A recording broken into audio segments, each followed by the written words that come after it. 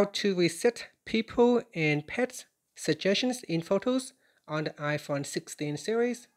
First, let's return back to the home screen by swiping up at the bottom of the screen.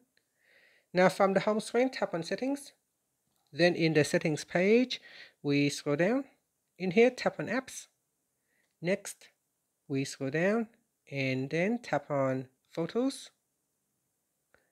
After that, scroll down.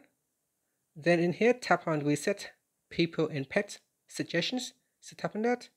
In here said, resetting will allow people and pets suggested less to once again be fully included in new memories and feature photos. So if you are sure, tap on the reset button. After that, you can swipe up to go back to the home screen.